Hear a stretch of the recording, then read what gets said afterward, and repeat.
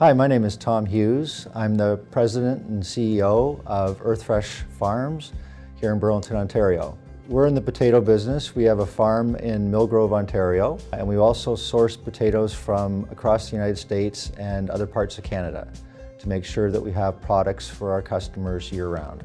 Earthfresh is a market leader with over 15,000 acres of our own varieties of potatoes. I'm most passionate about our core values, things like integrity, honesty, nutrition, health, wellness. These are the things that make us who we are.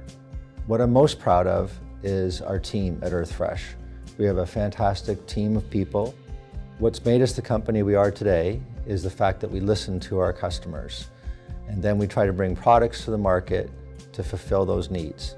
We're really excited about 2018 because we're expanding into different locations across Canada and the United States, and we're bringing new products to the market.